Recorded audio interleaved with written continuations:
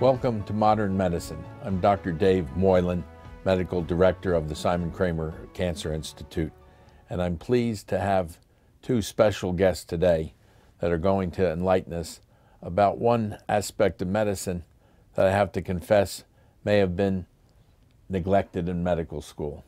That is nutrition and health. I think I might have had two, four lectures on nutrition over the four years of medical school where the didactic uh, sessions are given. And diet, obviously, to any practitioner of medicine, is critically important to uh, health. And I'm uh, pleased to have with us today Mr. Ed Esko and his fiancee, Naomi Ishikawa from uh, Tokyo. Ed, Naomi, welcome to Modern Medicine. Thank you, Dr. Moylan. It's our pleasure to be here. Well, I'm, before we go into further introductions, I want to tell our audience, the viewers, how I became interested in the macrobiotic diet, and you'll tell us all about that. But when I was training at some, uh, Thomas uh, Jefferson Medical College in Philadelphia in the early 1980s, well, it was a celebrated case. There was a doctor, and his name was Anthony Sattilaro, and this is one of two books that he did write. And uh, he was the medical director. He was a physician. He had studied anesthesiology, which he practiced for many years, but then he went on to become the president of the Methodist Hospital in South Philly. And uh, he contracted a dread disease, prostate cancer. And unfortunately, back in those days, before we had the early warning system of the PSA level, Dr. Uh, had stage four disease, which meant it was in his bones from the get go. And he was young also. Uh, yes, and you can tell that from his photograph here. But uh, he took the standard treatment back in those days, and still to this uh, very day, uh, removal of testosterone from the body. And that was accomplished in those days by a me medical surgical procedure called orchiectomy. And that worked quite well. In fact, the doctor that described how prostate cancer was related to the, the male hormone uh, Dr. Huggins from the University of Chicago, he got the Nobel Prize for that discovery. But unfortunately, uh, very shortly after the surgical procedure, the cells become resistant to that and the disease recurs and progresses. And uh, so Dr. Sattilaro had a life expectancy of about three years. And as you point out, as a young man, that didn't appeal to him. So he researched uh, this diet, and I'm going to turn it over to you because you uh, know some of the details of his case. Um, yes, that the Dr. Sattilaro was a Western trained physician, Western scientifically trained, and so had never really investigated the role of diet or the role of various holistic approaches to illness, let alone to cancer. And the way he discovered macrobiotics was by chance. He had just finished um, his father's funeral. Father had passed away.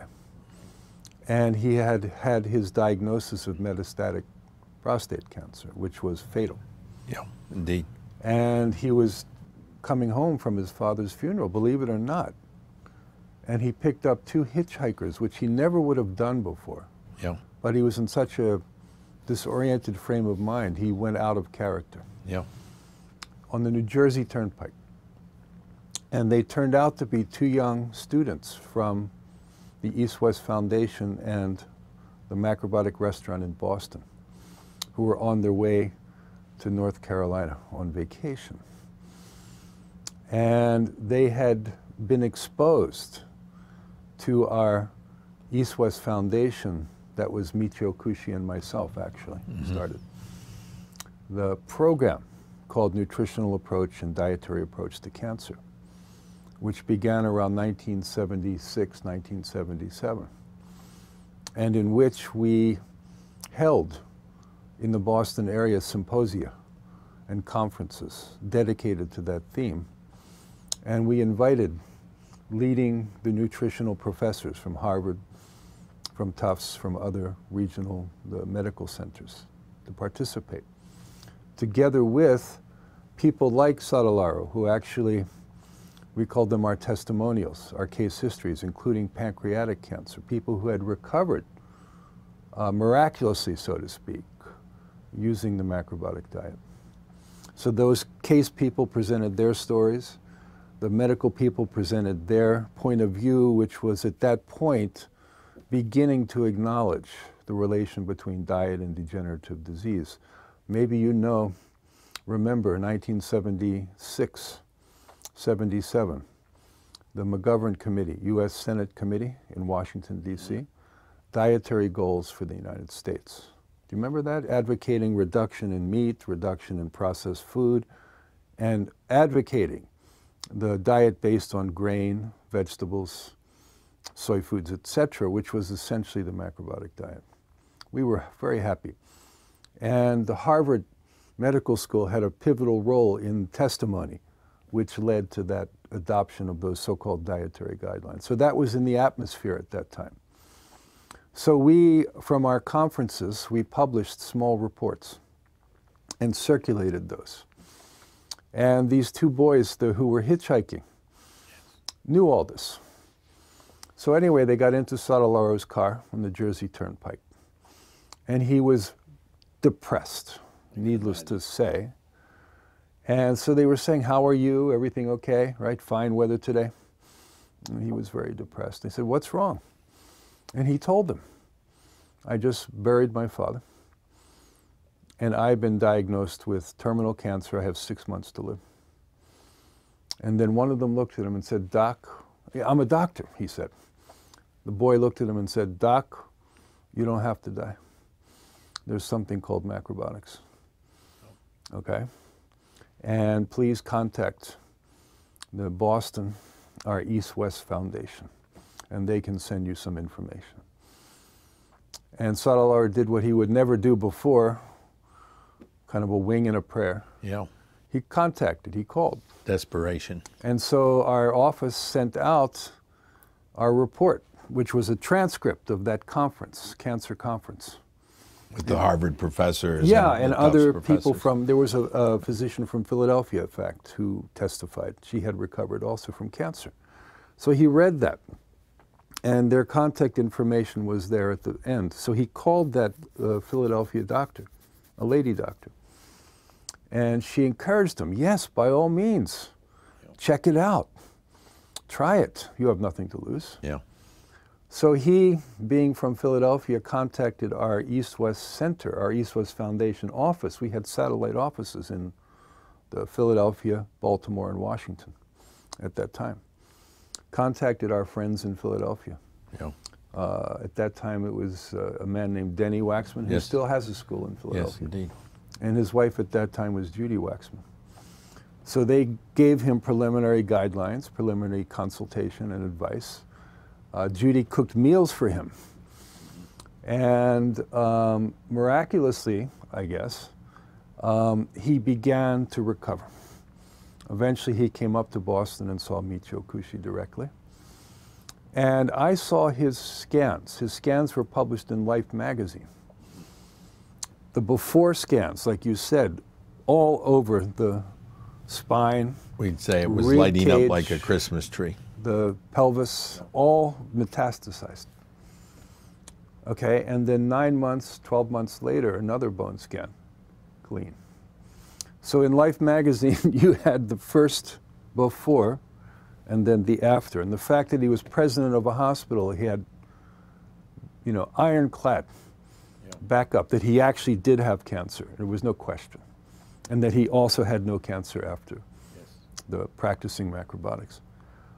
So this case was covered in the Saturday Evening Post, which at that time was a big magazine. Yeah, Life magazine, his book, first book, was Recalled by Life, which I helped uh, put him together with Tom Monte, who was the author of that book. Yeah. And that sold like crazy. It was translated into yeah. at least 15 languages. I'd have to say it's still available, as is this book, Living Well Naturally, on Amazon. Yeah, Amazon, yeah. yeah. It was it was in both hardcover and paperback. So it became sensational. So at the time that he went really public and high profile, our East West Foundation office started getting letters. One point up to 35,000 letters came. In those days, that's before email. Yeah. So letters came, and we couldn't just email them back. We had to send them out. The printed material, postage. In fact, Michio. Kushi was very concerned it would bankrupt the East West Foundation just re- res- responding to this Yeah, postage. And printing and all that. In those days, there was no email. Well, that, that's a wonderful introduction to the concept. But uh, now, can you tell us a little bit about yourselves? I'm from Philadelphia originally, and in the late 1960s, I was a student of yoga. In fact, I studied in Germantown, small studio, with a teacher named Yogi Desai, Desai. uh, Amrit Desai. And it was only about a dozen of us in a small class. He later went on to found Kripalu, this perhaps the largest yoga center in the country, which is actually now in Lenox, Mass, not far from we, where we are in the Berkshires. Gigantic yoga center. And it was through my interest in initially yoga, yogic breathing, Zen, Buddhism, Buddhism in general, uh, Taoism, which is Chinese, the, the, the traditional philosophy. From interest in Far Eastern philosophy, I discovered the so-called Zen macrobiotics and realized this is the way to put into practice um, these so-called spiritual practices and spiritual teachings, to actualize that. And at that time, I was the typical American diet. And I quit. I resigned from hamburgers. I resigned from milkshakes. I resigned from hoagies. I resigned from those delicious foot-long Philadelphia cheesesteaks down in, on, in the center city Pats. and started eating brown rice. I was still living with my parents. And my mother was a good cook, you know, typical Betty Crocker. 50s But I can 60s. tell you, you were from Philadelphia. You called them hoagies, Hoagies. rather than submarines. Yeah, yeah, hoagies, or, right? uh, uh, I grinders thought or the whatever. listeners would relate to hoagies, I think. Well, I think at this point we're going to take a commercial break, and then we're going to get back to uh, hear your amazing story, Naomi. Okay.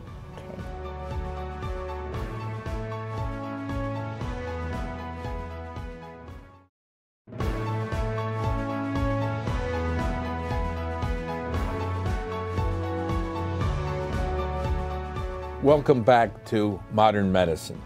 And I'm so pleased to have with us two very special guests from Pittsfield, Massachusetts, who are talking to us about the macrobiotic, not just diet, but approach to health. Mr. Ed Esko and his fiancee, Naomi Ishikawa. Um, Ed, you were telling us about your Philadelphia roots. Yeah. So Um, I got a copy of Zen Macrobiotics and started cooking brown rice in my parents' home in Northeast Philadelphia. My mother was a good cook, but now I became very, the what? For example, like her refrigerator, all beautiful supermarket foods, the usual American foods.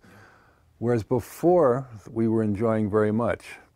Now with macrobiotics, everything became bad. That's not good, that's not good. Yeah. So this created a rift Yeah. between my parents and me. Good humor rift.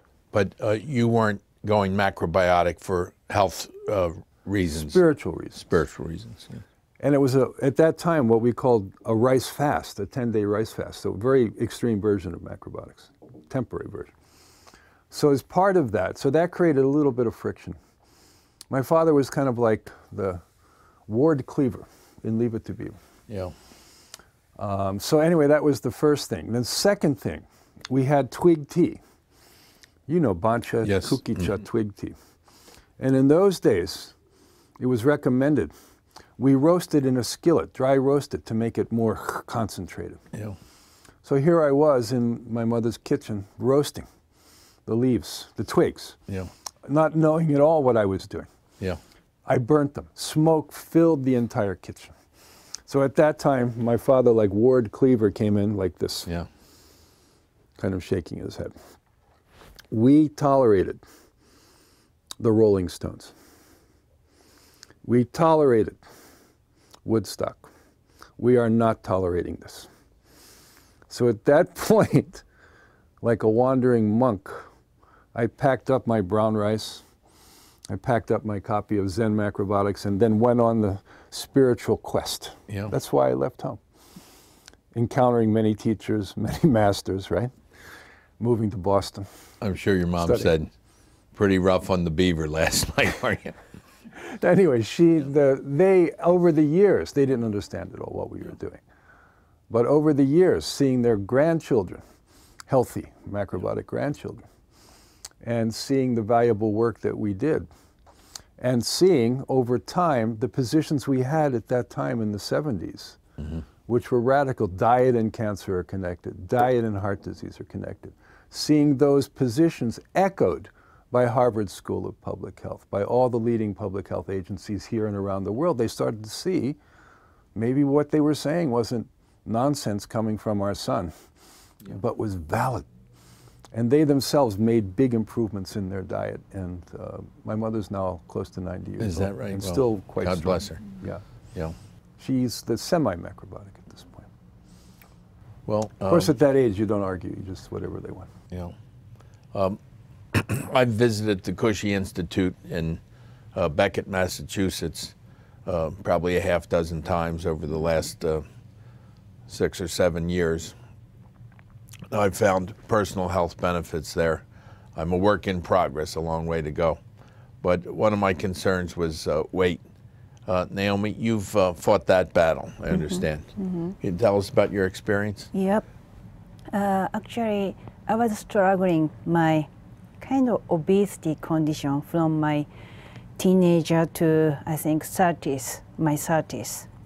So always I'm eating McDonald's, Kentucky Fried Chicken, chocolate, kind of things is my was my diet. But my friend saw my condition it's really no good. So maybe you should try to eat brown rice. She recommended me to eat brown rice. I didn't know anything about macrobiotic at that Were time. you living in uh, Tokyo yeah, at the time? I live in Tokyo. They yeah. have Kentucky Fried in of Tokyo. course, Oh, everywhere, food has conquered everywhere. Japan, Yeah, so- It has, you. yeah.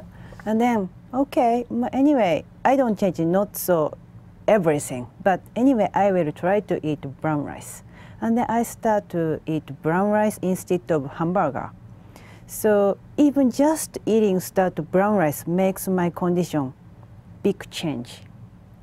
I feel like uh, more energetic, and then also I don't feel not much fatigue. What's going on my body? I was thinking, and then after that, I'm looking for internet brown rice diet or things. So, Kushi Institute show up, Yes. and then oh, maybe I have to study these things seriously, and then quickly I decided to go to US to study macrobiotic. And then I went to Kushi Institute for three months to study whole session for uh, to be macrobiotic instructor. And then, of course, I ate every day macrobiotic during three months without any McDonald's, chocolate, anything. And then three months, I totally changed. You know, like uh, I have so much pim- uh, what's it say, pim- pimple in my Acne. yeah acne Yeah. or the things gone. And then I lose weight, of course. And then when I was eating too much chocolate or junk food, I was very unstable for my mental. Sometimes I'm very short temperature, you know, but after that, I'm always peaceful, stable. Of course, sometimes get angry, but not so. No, at me, she could say. Yes, yes. With But- good reason. Yeah, you know, always like a peaceful, you know. So I got the, these things, and after I finished my study at the Kushi Institute, I decided to change my old career. I was working in a restaurant as a restaurant manager, but I quit every the career, and then I start to share my wonderful experience with macrobiotic. I want to help people struggling so many condition, like uh, not even cancer or diabetes, are not a big disease, like uh, just small bad condition we have, especially woman has uh, some trouble for, for example, unstable period, the kind Yes. of, you know, uh, small, you know, bad condition, but this is really we can improve from your diet. So I just you know can show everybody my improvement, very dramatically improvement. I can show everybody. So that's why I start to teach macrobiotic to share my experience. Well, I think what you just uh, touched upon, improvement in acne Mm-hmm. and the menstrual cycle, hormones have to be involved in this Yeah. uh, somehow. Yeah, yeah. And, um, and Well, well, would you our- like to add to that? Our theory, our theory is that hormones are very sensitive and very the, affected by our diet. So, for example, the male hormone testosterone, which you mentioned for prostate cancer, prostate cancer. that is accelerated in both the male and female bodies by the heavy intake of animal products, including meat, especially meat. So if a woman is eating heavy meat diet, McDonald's, etc., right? She's overproducing male hormone. And naturally that's going to disrupt her menstrual cycle. I see. So that can be alleviated by eliminating those foods and eating semi-vegan, plant-based macrobiotic diet. And she experienced immediate improvement, as have thousands of women. Well, Naomi, uh, you did have a reduction in your weight, and we'll be able to show the viewers a before after picture of you. But could you tell us a little bit more about that and over what period of time did you lose the weight? Okay. Like I start to study, seriously started macrobiotic, I think 2010. And then uh, from that, and then maybe seven years, I lose weight. You said 45 pounds? Yeah, I think you, pound- you Yeah, expressed I- it in kilograms, yeah, but that would be the rough translation. Yeah, 45 pound. Yeah, amazing. little by little, not like a dramatically, but this is very important. You know, if we lose weight uh, just like one month or two months, absolutely something, you know, what to say, side effect coming. Yes. But I take time little by little because my diet is not to eat anything or, you know, what to say, like a so hard exercise, not like that extreme. Like every day, just to balance the food, eat, eat three times a day. So little by little, I lose weight, and then Yeah. now kind of I'm very energetic and I'm very comfortable with my body. Maybe it means I became best weight and the best shape now. Can I ask you to just stand up so our viewers can take a look at you? Yeah, thank you. Yeah. Thank you. I think what she's talking Have about is sustainable weight loss. Yes. Gradual, sustainable, rather than sudden, drastic. the yo-yo effect. Yeah, and back and forth. She's Yeah. sustained that. She hasn't gone back to eating her previous foods at all. She was very much addicted to chocolate, and now is completely many years off of chocolate permanently. So, so sustainability is the issue, I think, with weight loss. I'm referring back to some um, demographic information about breast cancer. And at one time, breast cancer was a rarity among Japanese uh, women. But I understand, and perhaps it's again related to the change in the diet, that that is becoming a problem in uh, Japan also. Yeah. A lot of that can be traced to um, World War II, when at that time it was mandated that school children must have so many uh, ounces of milk per day in their diet. Whereas previous to that, the Japanese never drank milk. Never drank dairy milk, food, never. And also after World War II, sugar, refined sugar, started to invade everywhere. Even the white rice in sushi restaurants has sugar. Sugar came in. And then also chemicalized processed food came in. So it was the introduction of those previously unknown foods in the Japanese diet. Together with that, breast cancer started to creep upward, whereas before it was practically unknown. Un- unheard of, yeah. Yeah.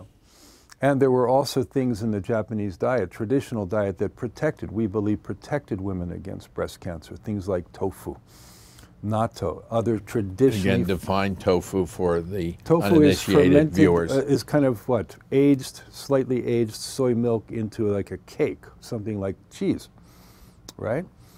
And natto, which are whole fermented soybeans. These are so called phytoestrogen rich foods. plant, plant, plant estrogen, yeah.